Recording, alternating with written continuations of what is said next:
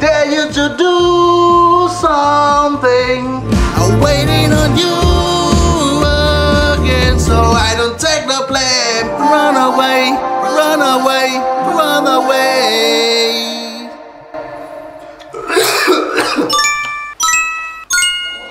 Hmm. Được chị?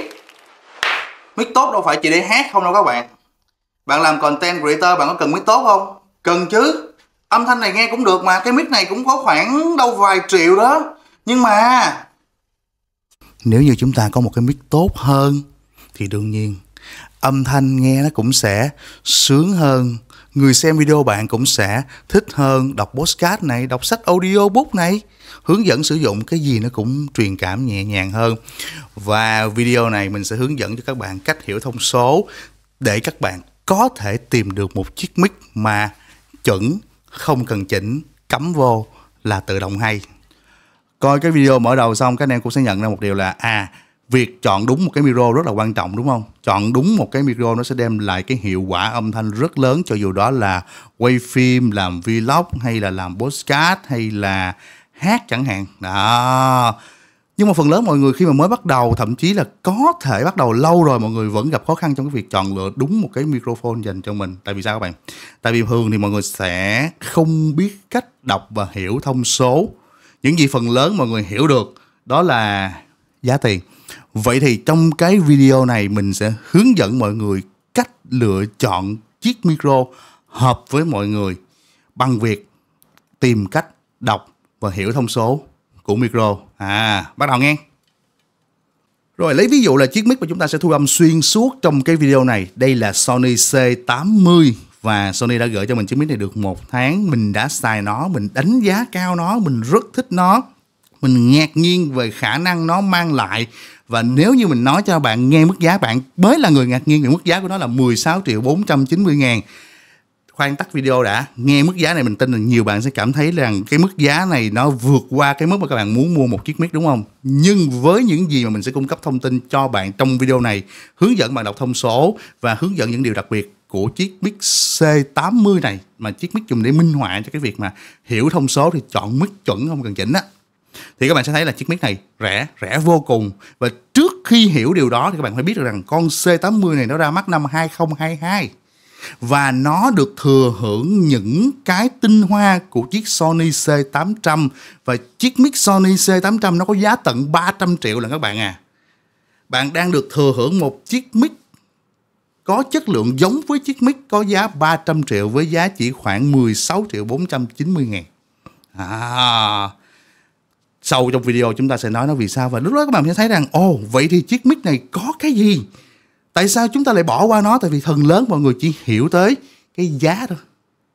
Và chúng ta sẽ phải biết cách đọc thông số của chiếc mic này để dẫn đến chọn nó. Và chiếc mic này mình tin rằng đối với những bạn nào đang muốn làm mini studio tại nhà trong năm 2024 thì các bạn cũng nên ngó qua chiếc mic này một cái.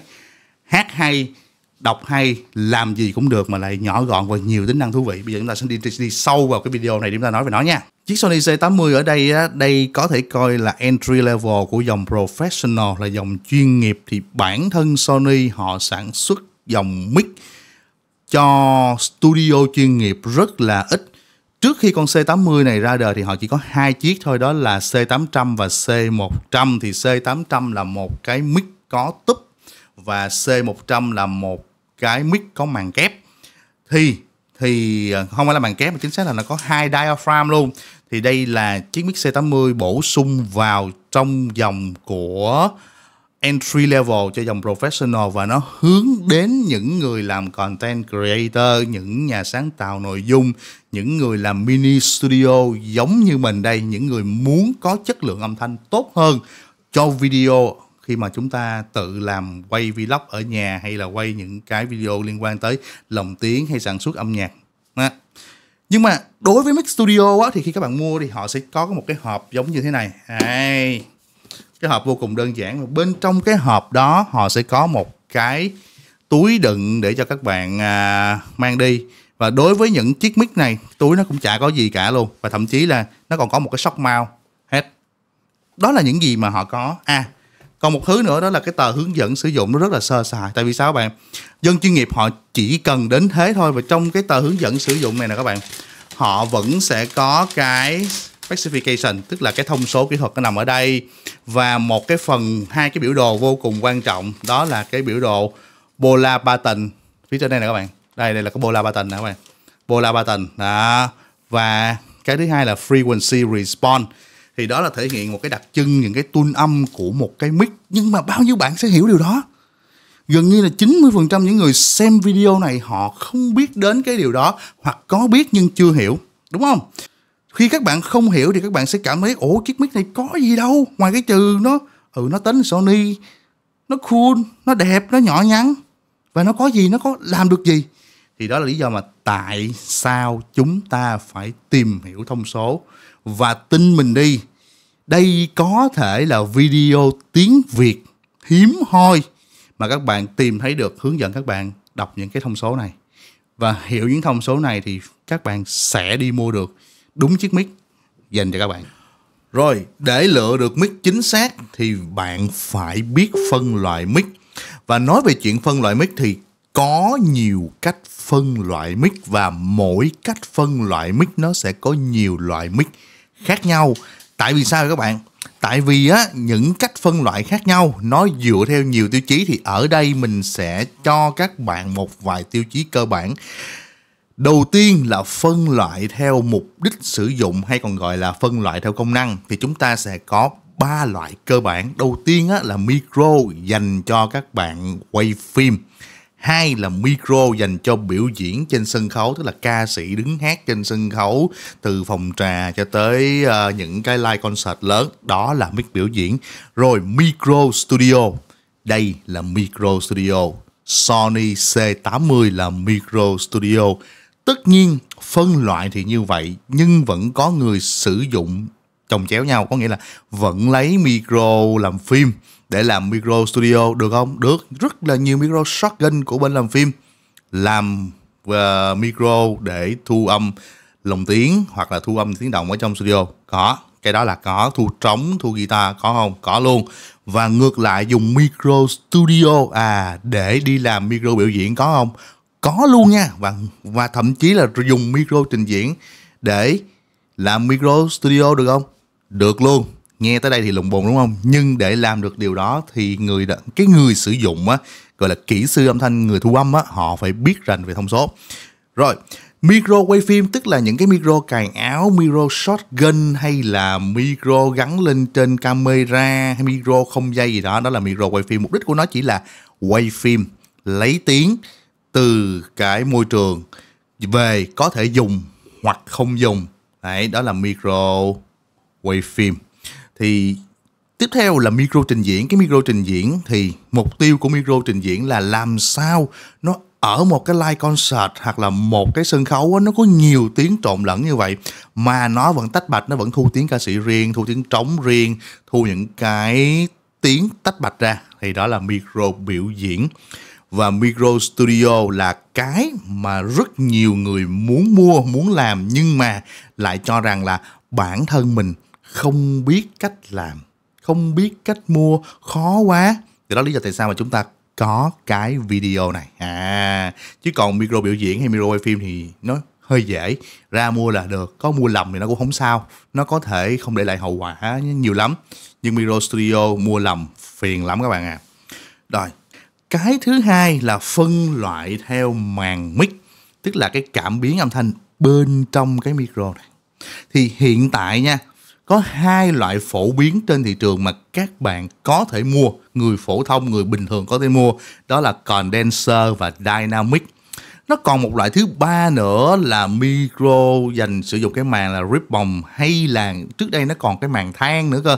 Màn than hoạt tính nữa, nhưng mà cái màn than hoạt tính là cái màn dành cho điện thoại ngày xưa cái điện thoại quay số ngày xưa là màn than hoạt tính. Nhưng mà mọi thứ nó đã khác rồi, bây giờ các bạn quan tâm là các bạn mua là chỉ có dynamic hoặc là condenser condenser hoặc dynamic. Thế thôi. Thế thì đối với lại mic condenser giống như là Sony C80 ở đây thì nó cần phải cấp điện cho nó thì nó mới thu âm được. Còn đối với lại micro dynamic á, thì không cần cấp điện nó vẫn có thể thu âm được. Nó dựa vào cái áp lực mà các bạn tương tác lên trên cái màn mic để nó tạo ra dòng điện và nó gửi tín hiệu đó. Đến với lại những cái thiết bị thu âm khác.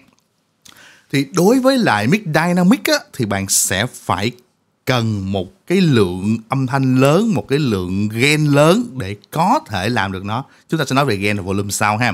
Còn đối với lại mic condenser thì không cần.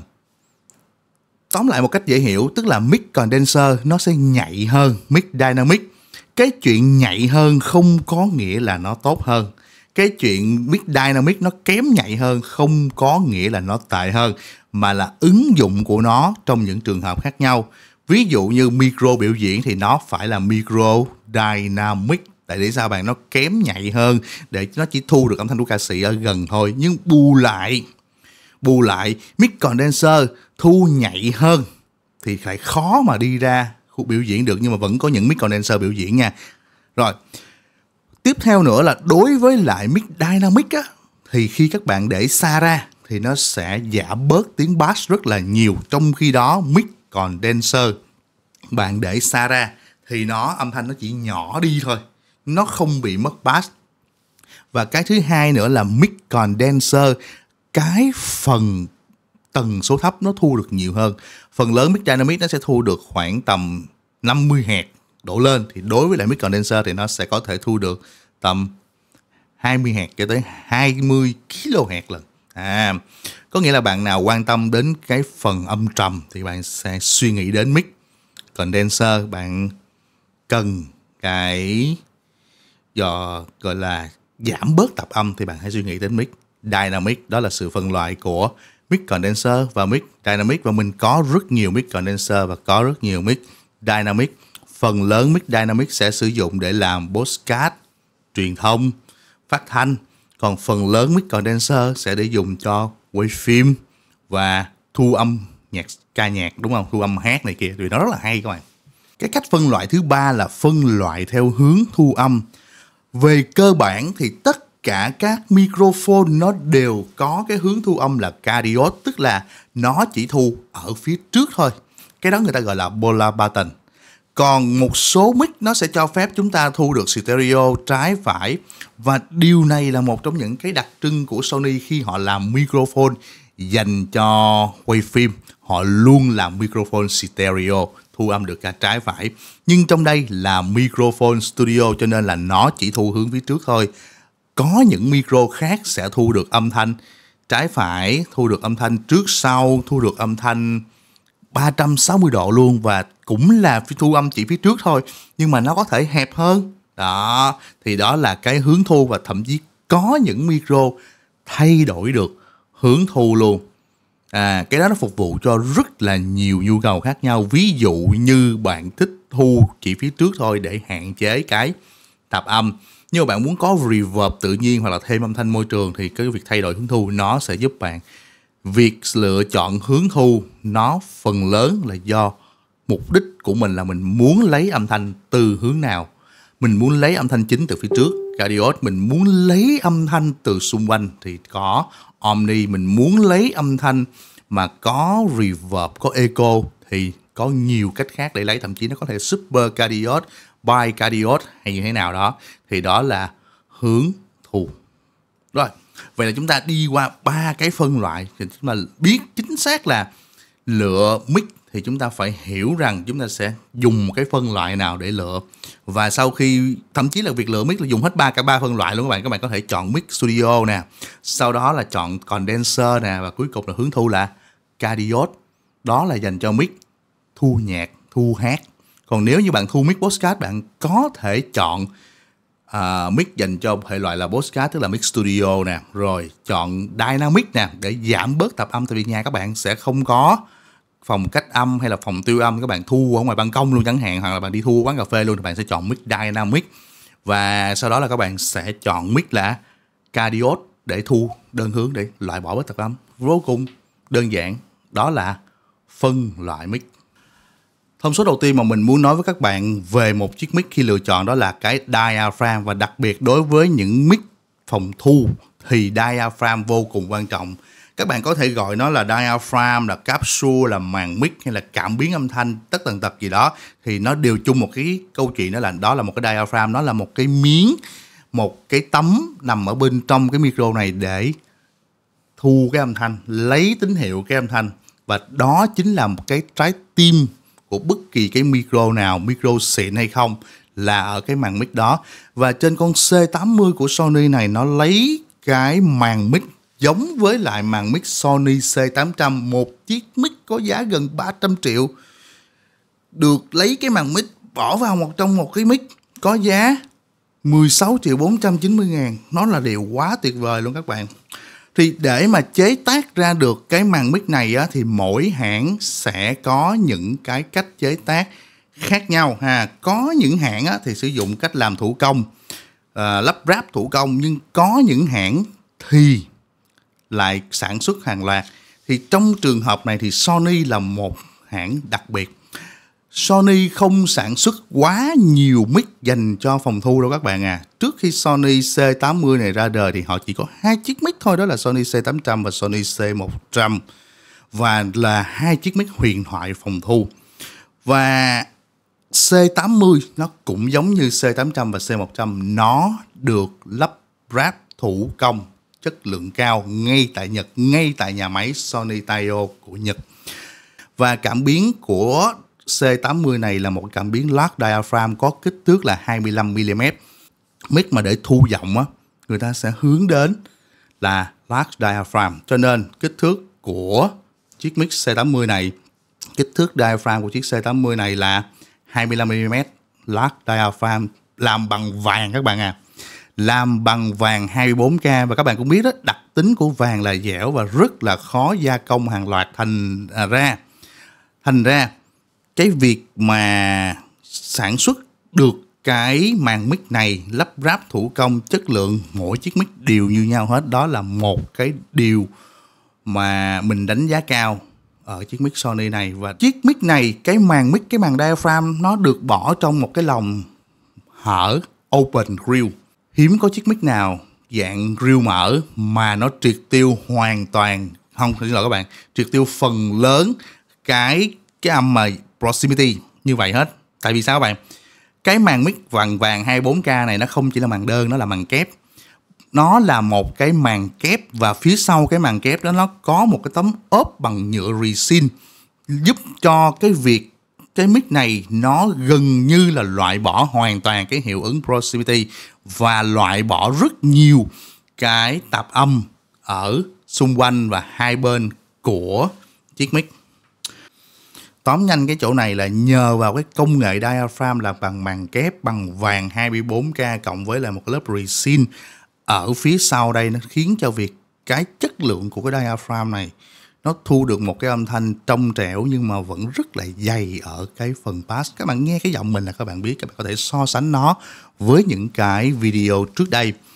Và điều này nó khiến mình ngạc nhiên vì nó quá đã các bạn à. Thông số tiếp theo một thông số vô cùng quan trọng. À, cái thông số quan trọng đó các bạn thấy là trên bất kỳ một cái mic nào khi mà bán ra họ cũng phải công bố, họ cũng phải đưa, họ không thể giấu được. Đó là frequency response là các bạn thấy cái bảng này nè. Rồi, cái bảng này thấy rồi là chuyện đọc sao là chuyện mấy năm trước khi mà mình bắt đầu tìm hiểu mic á mình cũng không biết đọc cái frequency response này đâu nhưng mà sau này rồi thì làm rồi thì biết thì bây giờ mình sẽ thấy cho các bạn xem là cái frequency response ở đây và đây là một cái điều đặc biệt nè các bạn đối với lại mỗi một chiếc mic á, thì nó sẽ thu từ giải tần số thấp đến giải tần số cao. Thì phần lớn những chiếc mic mà các bạn mua nó sẽ đáp ứng được cái giải băng tần tức là nó thu được từ 20 Hz cho đến 20 kHz à 20 Hz cho đến 20 kHz tức là một cái giải tần số rất là rộng để nó phù hợp thu được cả tiếng guitar nè thu được cả tiếng à, người nè tiếng piano tiếng nhạc cụ tất cả tiếng tiếng mọi thứ. Vậy thì làm sao biết được là nó thu tiếng nào hay? Thì chúng ta phải đọc cái frequency response. Thì đây là cái frequency response của Sony C80 thì các bạn thấy ở đây nó sẽ có ba cái đường. À, biểu thị cho câu chuyện đó là ba cái hướng. Hướng 0 độ, hướng 90 độ và hướng 180 độ. Thì nói về hướng thì nó sẽ như thế này các bạn đây là khi bạn để trực tiếp miệng của bạn lên phía trước của chiếc mic, tức là hướng 0 độ và khi bạn nói ở bên hông thì là hướng 90 độ và khi bạn để ở phía sau thì là hướng 180 độ. Rồi. Tại sao phải làm điều này các bạn à? Tại sao những chiếc mic xịn thì họ sẽ phải cung cấp cho bạn frequency response của cả ba hướng? Tại vì khi mà âm thanh á nó phát ra trong không gian thì nó sẽ có dội lại, nó có dội lại phía sau và nó sẽ có dội lại hai bên. Thì việc mà nó hiển thị như vậy là thì để biết được rằng nó đáp ứng được âm thanh như thế nào. Thì chúng ta sẽ quan tâm đầu tiên là cái đường liền là cái đường quan trọng nhất là cái đường đỉnh nhất. Rồi thì trong cái đường này nè nó rất là thú vị là cái tần số đáp ứng của con Sony C80 này, nó có một cái dạng là nó sẽ boost lên ở phần 13 kHz, tức là ở phần 2 cho nên nó cho âm thanh ở chỗ này rất là trong, rất là sáng. Và mình là một người thích âm thanh thiên sáng, cho nên là khi mình nhận chiếc mic này, mình cắm vô, mình nghe một cái là mình đã liền. Chưa hết sáng ở phần 13 kHz, tức là cái âm cao của người á, âm cao của kể không thậm chí là, không chỉ là người không, mà thậm chí là kể cả âm của guitar hay piano khi những cái nốt cao thì nó sẽ nằm ở khoảng này. Và nó sẽ boost nhẹ ở phần bass phần bass. Các bạn thấy là cái âm trầm này, các bạn thấy không? Nếu mà nhìn trên cái đồ thị này, các bạn thấy đây là 20 Hz nè, tần số 20 Hz nè và đây là tần số cao nhất nè là tần số 20 kHz nè. Nhưng mà họ cắt bi hả? À, cắt đi nè. À, rồi. Tới đây là nó cắt nè. Đó 20 kHz thì từ đây trở lên thì họ sẽ chia ra. Thì cái khoảng mà cái phần âm trầm từ 20 cho đến 100 Hz thì nó sẽ boost nhẹ lên. Chính nhờ vào boost nhẹ lên như vậy cho nên là cái việc mà chúng ta đọc cộng thêm với là cái diaphragm có kích thước lớn á, nên do đó cái cái phần âm bass, cái phần âm trầm của chiếc mic này nó rất là hay. Nó hay. Rồi, còn cái phần lớn những cái âm tha, giọng mà chúng ta nói á, nó sẽ rơi vào khoảng này nè các bạn. Nó sẽ rơi vào trong cái khoảng từ 100 hạt cho đến khoảng 1.000 hạt à là những cái âm, những cái cao độ, những cái tần số mà con người chúng ta hay nói bình thường với nhau á cao hơn chút xíu nữa mình lên giọng được một chút xíu nữa thì nó cũng chỉ tới phần khoảng chừng đâu đó khoảng 2.000, 3.000 hạt là thôi.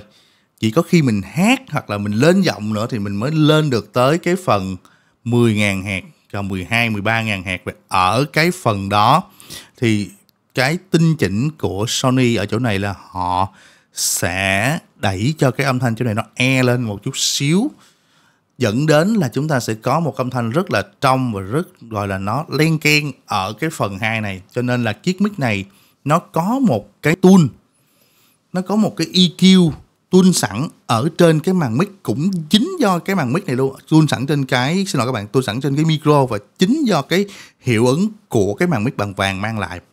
Nó dẫn đến chúng, cho chuyện là chúng ta hát hay chúng ta đọc thì cái giọng của chúng ta nó sẽ hay tự nhiên luôn các bạn toàn bộ cái âm thanh mà các bạn đang nghe trong cái video này á là âm thanh mình thu gốc mình không có hậu kỳ gì hết á.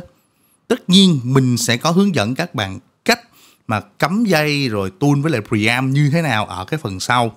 Nhưng mà nghe nó vừa hay tiếng trầm nó cái phần, phần âm trầm của nó dày phần âm cao của nó gai nó len ken như vậy và chưa kể là câu chuyện là noi rất là sạch noi rất là sạch luôn các bạn. Đấy, đó. Thì đây chính là frequency response. Nhưng mà chúng ta phải đọc thêm, hồi nãy mình có nói với các bạn là chúng ta phải hiểu được thêm nữa là cái phần của những cái góc 90 độ và góc 180 độ của cái mic thì đối với góc 90 độ của cái mic các bạn thấy nè những cái phần âm trầm nè nó gần như là nó loại bỏ nó chỉ đẩy nhẹ ở phần âm cao và tương tự như vậy đối với lại góc 180 độ cái phần âm trầm nó trừ đi rất là nhiều. À nó trừ đi rất là nhiều luôn nó xuống rất là nhiều luôn. Nó gần như nó loại bỏ những cái giọng người nói mà nếu như chúng ta xuống âm trầm. Nhưng nó lại đẩy cái phần đặc trưng đặc trưng ở cái phần trên 10.000 hạt cho tới 13.000 hạt tức là 10 kHz cho tới 13 kHz đó, thì nó e lên đặc trưng và nó làm cho cái âm thanh giọng cao trung ở phần này nó rất là tuyệt vời. Thì cái này thì mình không hát được, mình cũng không hát hay, nhưng mà mình sẽ lát hồi trong video, trong cuối video mình sẽ thử cho các bạn xem để các bạn thấy là mic này chuẩn không cần chỉnh, chỉ cần biết thở thôi, biết đọc thôi là hát cũng auto hay. Thì đó là những gì mà chúng ta đọc về frequency response, tức là đáp ứng tần số. Vậy thì câu trả lời là chúng ta mua cái mic như thế nào? À nếu như giọng của bạn là một cái giọng mà nó mỏng và các bạn cần một cái mic mà nó tôn lên cái giọng bạn, nó làm cho giọng bạn dày hơn. Thì đi mua cái mic mà nó, cái phần âm, cái phần âm trầm chỗ này nè, nó đẩy lên trên một chút xíu. Hỏi đẩy lên trên là đẩy như thế nào? Tức là nó lên hơn cái phần không một chút xíu, chứ đừng có để ngang bằng phần không. Và nếu như bạn thích để hát, thì cái phần ở phần cao nó phải e lên một chút xíu. Và cho nên là cái mic của Sony, mặc dù các bạn thấy cái dãy mic này nó nhìn nó vậy đúng không? Nhưng thật ra nó là một có tính V-shape một chút xíu thôi. Và cái tuôn âm này nó chính là cái tuôn âm đặc trưng từ con C800 một chiếc mic 300 triệu mang xuống. À rất là thú vị các bạn ha. Rồi đó là frequency response của một chiếc mic. Nhớ ha diaphragm tới frequency response. Sau hai cái thông số quan trọng nhất của một cái mic đó là diaphragm, công nghệ sản xuất ra diaphragm và cái frequency response để biết được cái chất âm của cái mic như thế nào thì nó có vô vàng thông số phụ khác. Giống như các bạn có thể thấy ở đây, đây là những thông số phụ cơ bản của một chiếc mic. Để từ đó chúng ta nhìn vào chúng ta sẽ biết chiếc mic này nó có thêm cái khả năng gì, độ xịn của nó ra sao, cách phối ghép của nó với các thiết bị khác như thế nào à, và nó có đáng tiền để các bạn mua hay không thì phần lớn như thế này là bây giờ mình sẽ chỉ các bạn đọc cái capsule style condenser là mình nói rồi nè, frequency response là chúng ta nói rồi là đây chính là diaphragm và frequency response. Thì cái directivity này nay ở trên thẳng trang chủ của Sony, họ dùng là directivity và unidirection, tức là đơn hướng. Thì ở chỗ này, các bạn có thể hiểu nó chính là cardioid ha, đó là cardioid đó là cái một cái hình, cái logo này các bạn.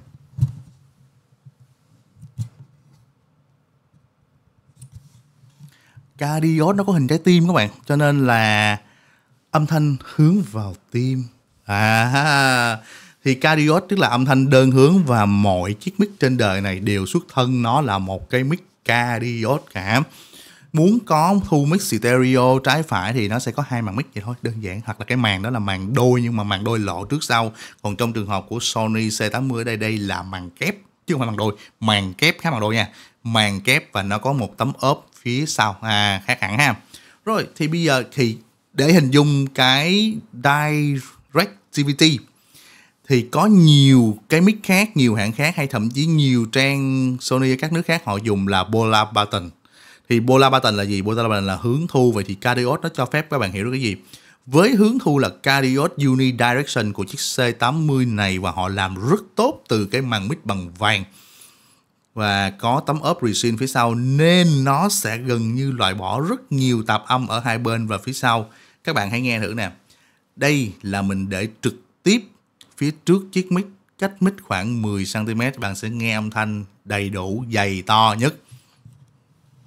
Còn đây là mình để ở góc 90 độ ở bên hông chiếc mic. Âm thanh lúc này đã giảm đi rất là nhiều.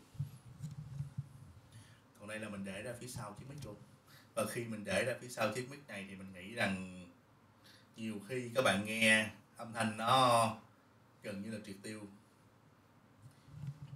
Cho nên là một chiếc mic có thiết kế riêu hở condenser mà nó loại bỏ được nhiều tập âm như vậy, nó đến từ cái việc nó có cái resin, một cái tấm ốp resin ngay phía sau màn mic rất là tuyệt vời. Và mình là người ngạc nhiên vô cùng đối với một cái mic condenser mà nó loại bỏ tạp âm ở phía sau nhiều đến như vậy, mà với mức giá dưới 20 triệu, thật sự.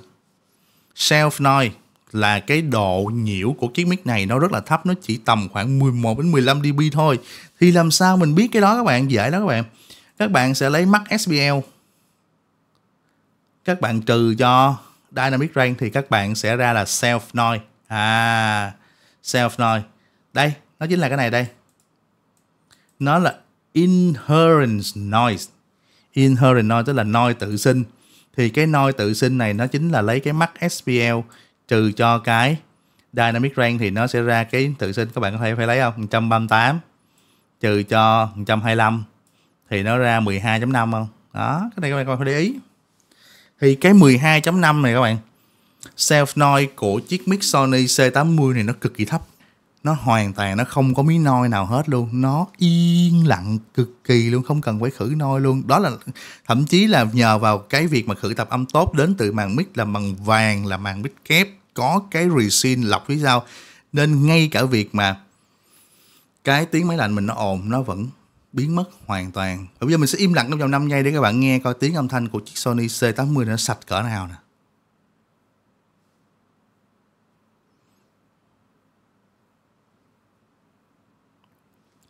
Nó gần như là yên lặng hoàn toàn rồi các bạn sẽ không nghe bất kỳ một cái tiếng nói nào. Tại mình đã trừ cái bass đi 10 rồi. À và các bạn nhìn trên đây, các bạn cũng sẽ thấy là mình có một cái preamp trên đây nữa.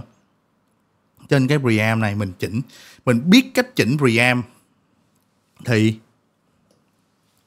cái mic này nó sẽ nghe hay vô cùng. Lát hồi mình sẽ chỉ bạn chỉnh preamp với cái mic này và tại mình sẽ nói luôn tại sao có preamp một chiếc mic C80 với giá 16 triệu 490 ngàn cộng với một cái preamp giá khoảng 3 triệu thôi bạn sẽ có một chiếc âm. Ok nó cũng nó cũng na ná gần giống nó cũng có hương hoa giống chiếc mic uh, 300 triệu. Đó rồi đó là cái um, đó là cái self noise max SPL và cái dynamic range thì việc các bạn hiểu những cái đó thì các bạn sẽ hiểu là chiếc mic của các bạn nó yên lặng cỡ nào nó loại bỏ noi như thế nào nó có khả năng chịu được áp lực âm thanh như thế nào và nó còn một số thứ khác nữa ví dụ như trở kháng. Đó ở đây là trở kháng.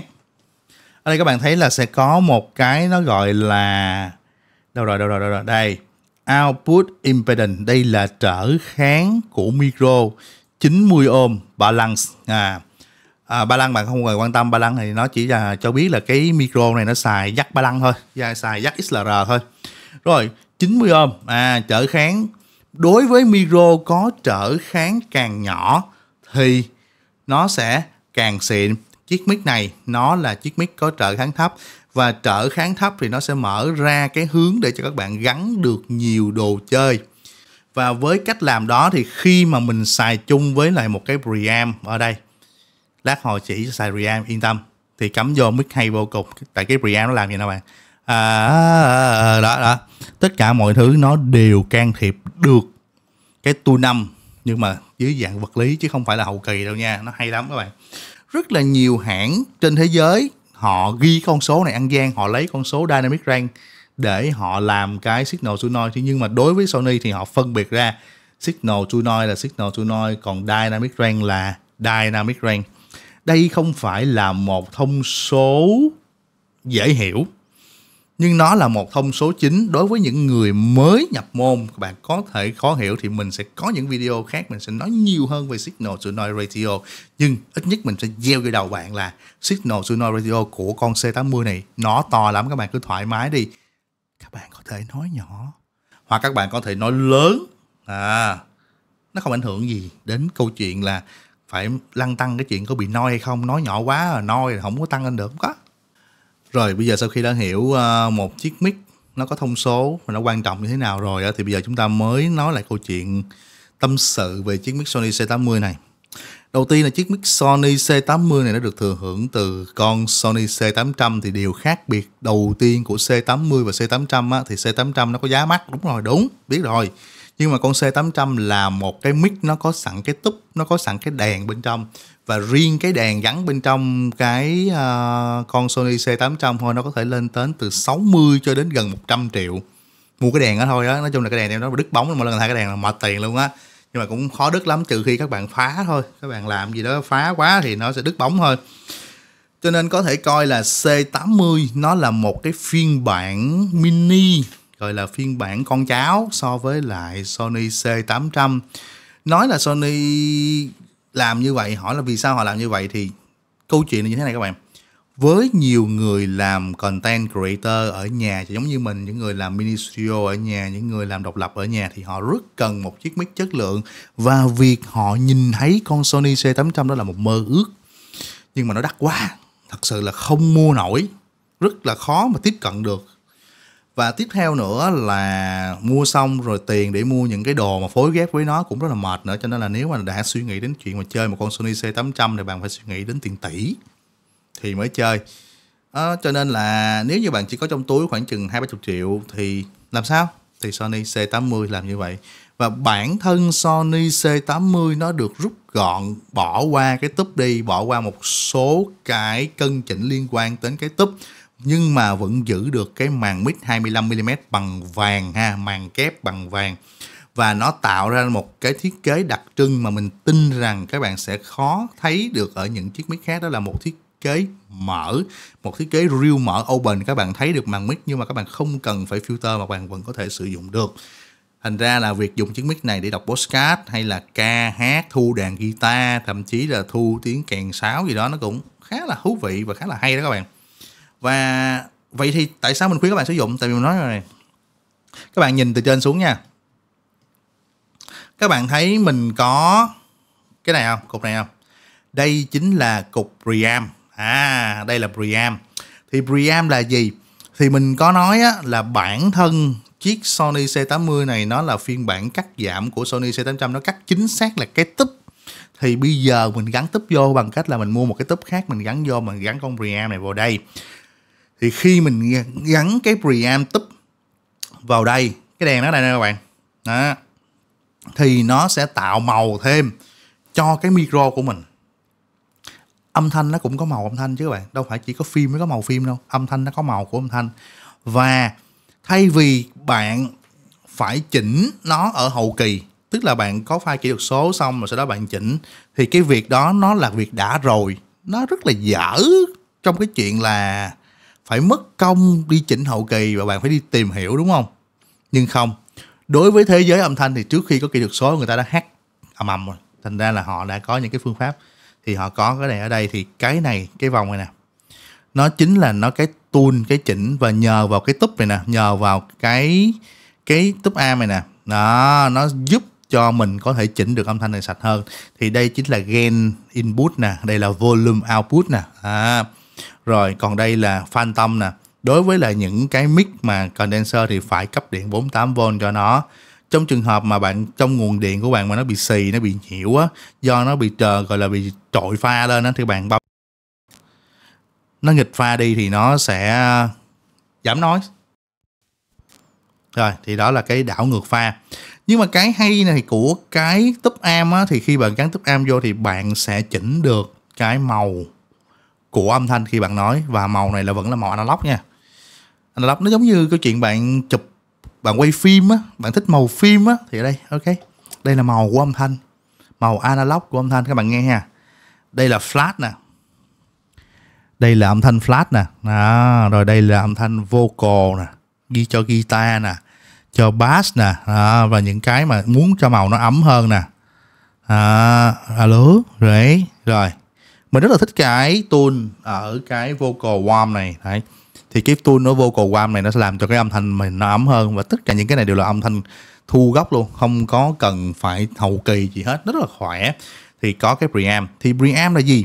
Trước khi chúng ta gắn nó vào một cái audio interface ở trên đây, có nhiều loại audio interface, các bạn mua cái nào cũng được ha, không quan trọng. Rồi, chúng ta cần có một khoảng tổng kết nhanh ở đây và sau khi chúng ta hiểu được một số cái thông số cơ bản của một chiếc mic và thông qua việc chúng ta tìm hiểu chính chiếc mic Sony C80 mà Sony gửi cho mình ở đây thì ít ra các bạn sau này các bạn sẽ có thể tự tin lựa được những chiếc mic có giá trị cao ít nhất là nó sẽ giúp cho bạn hiểu được cái tầm quan trọng mà một chiếc mic chất lượng đem lại cho bạn. Thì chỗ này giống như cái tiêu đề mình ghi là mic chuẩn không cần chỉnh, đúng không? Thì hiểu thông số thì chỉ có lựa mic chuẩn không cần chỉnh thôi. Đó, ok. Rồi, và có một điều mà mình phải nói thêm thế này đó các bạn. Mic nó là một thứ vô cùng đặc biệt, tức là mua một lần và dùng một đời. Phần lớn những chiếc mic khi mà chúng ta dùng á, nó chả bao giờ nó hư đâu các bạn bạn dùng bạn giữ kỹ. Ví dụ như chiếc mic Sony C80 này bạn dùng giữ kỹ thì tệ nhất bạn phải dùng được 10 năm. Thật sự là như vậy. Còn camera các bạn dùng á, thì các bạn nhiều lắm là các bạn dùng khoảng được 6 7 năm. Và bắt đầu các bạn sẽ nhìn thấy những cái camera mới nó xịn hơn. Mình không nói là camera cũ các bạn nó sẽ dởm đi hay là gì hơn không. Các bạn sẽ thấy những camera mới xịn hơn công nghệ xịn hơn các bạn muốn đổi. Còn mic thì sao các bạn? Mic thì sáu bảy chục năm nay công nghệ nó y chang, nó cũ. Có những chiếc mic người ta vẫn bán sáu bảy chục năm nay, người ta cập nhật nhẹ nhẹ thôi. Cho nên việc một bạn mua một chiếc mic tốt, thật sự ở giai đoạn này, và các bạn xài cho 5 năm 7 năm tới là chuyện bình thường. Tại sao phải đi nâng cấp? Trong khi các bạn có thể mua ngay lập tức một chiếc mic, xịn liền, xài liền, thích liền, đúng không?